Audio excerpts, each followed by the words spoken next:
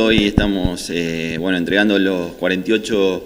eh, boletos de compraventa de, del plan Mi Tierra, Mi Casa eh, y a su vez también estamos entregando los boletos de 17 viviendas de Fonavi, que, donde ya la, gente está viviendo en sus hogares hace ya un tiempo y bueno, faltaba hacer el protocolo de la entrega, ¿no? Así que muchas gracias también a al vicegobernador, al secretario de, Hábitat que hoy nos acompañan en este importante evento para Fran, para las familias de Fran, porque realmente estamos hablando de, más de 50 personas, de familias que van a estar eh, eh, hoy teniendo la posibilidad de tener su, terreno y, bueno, eh, su su hogar futuro que seguramente van a empezar a construirlo en esos lotes. Conforme seguramente con la cantidad de construcción de unidades habitacionales a lo largo de este tiempo y en particular en estos últimos años de gestión. Sí, sin duda, la provincia siempre estuvo al lado de nosotros, eh, este gobierno eh, nos apoyó en todo sentido. Nosotros también tenemos un plan de viviendas eh, comunales que bueno, ya es conocido, un círculo cerrado, donde construimos más de mil viviendas, hoy estamos en ejecución en unas 40. Así que muy contento con, cómo avanza el pueblo en ese sentido. Hoy es eh, mucha gente de, otras localidades que nos ven con potencial para, para radicarse en la localidad, porque, bueno, por la fuente de trabajo, por la cercanía a Santa Fe, a Esperanza, eh, y bueno, el pueblo siempre creciendo y nosotros eh, tratando de aportarle infraestructura que necesitan estos lotes, como ser electricidad, cloacas, gas, que también tuvimos un apoyo importante de la, de la provincia para también eh, llegar a, a, este año terminar el refuerzo de gas para brindarle gas eh, a todas las viviendas de la localidad que no tienen. Así que bueno, trabajamos a diario eh, en, en con, la, provincia y, bueno, y agradecido por supuesto a los vecinos de Fran que siempre colaboran con sus eh, obras, eh, también que pagan sus impuestos y, por supuesto las contribuciones de mejora que hacen que, nosotros podamos avanzar con esas obras. Eh, Carlos, buenos días, ante que nada. ya se, este plan ya está en marcha, ya se hace varios años. Esta última situación económica, por allí, ¿va a afectar en algo en lo que tiene que ver con el pago, con todo lo que ya se, se ha pagado o se ha contratado, se ha firmado en su momento?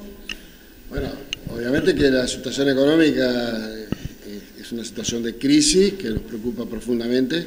El gobernador hasta el momento no ha paralizado ninguna obra, así que este, todo sigue, la administración sigue funcionando con normalidad, pero bueno, la prioridad también que se ha fijado es, fundamentalmente sostener los servicios y sobre todo lo que tiene que ver con la atención social en un momento de crisis. Pero bueno, obviamente eh, no vamos a, paralizar ninguna obra, ninguna de los, de, este, de los planes que están en marcha,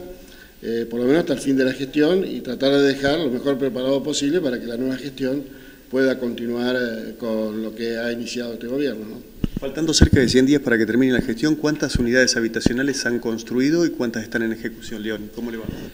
Muy buenos días. Bueno, entregamos 3.000 viviendas, llave en mano, listas para que las familias puedan ir a vivir. Eh, hay otras 3.000 en ejecución. Y, acá creo que hay un hecho destacable, y, recién el vicegobernador Carlos lo, comentaba un poco respecto a la movilidad que tiene la provincia. La obra pública es un motor de la economía. Hemos tratado de sostenerla a lo largo de estos tres años y medio de gestión, con, mucha fuerza para, para lo que sigue pero en nuestras obras de vivienda lo que tiene la particularidad es que la mayor cantidad de mano de obra que genera la obra pública, la construcción de viviendas, es la que más, la que más genera.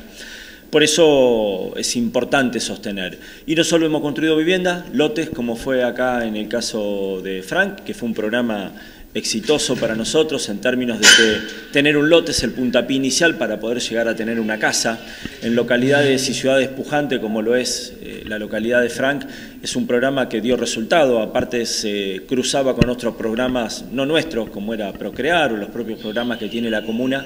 o después Lote Propio, que sí era un programa nuestro. Para nosotros lo importante de estas 3.000 viviendas que se construyeron en todas las localidades y comunas de la provincia, de punta a punta, pueblos muy chiquititos, a veces con poca cantidad de viviendas, ciudades más grandes con mayores cantidades, tratando de llegar a cada, a cada lugar de la provincia. Para nosotros tener una, buscar y sostener el territorio con localidades pujantes como esta, eso es importante.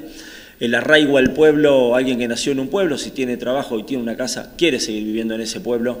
y creo que ese programa lo hemos podido sostener con, con, resultado, teniendo en claro que faltó mucho por hacer, poniendo en claro que la mayoría de los recursos para hacer todas estas obras fueron recursos del propio gobierno de la provincia, los impuestos que pagamos todos, no hemos prácticamente tenido ayuda del gobierno nacional, siendo discriminados eh, eh, a la hora de repartir fondos federales, eh, no solo no pagándonos la deuda que teníamos, sino que en cada uno de los programas. Por eso fue una decisión política de esta gestión del Frente Progresista de sostener estas obras, porque atrás de una obra hay una familia que espera por tener un hogar para vivir dignamente.